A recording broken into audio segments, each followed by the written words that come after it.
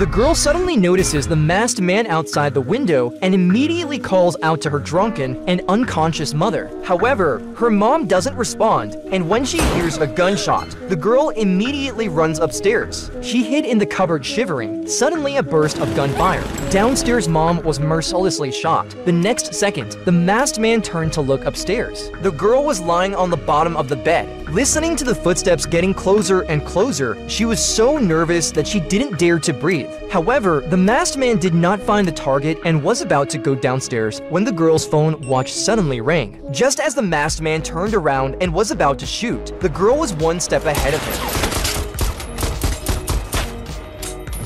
Her legs went weak and she came to the stairs to check. The masked man had already fallen to the ground. The girl immediately dragged the man out of the house, but the man suddenly woke up when he touched the cold snow. When the girl saw this, she immediately got up and ran away.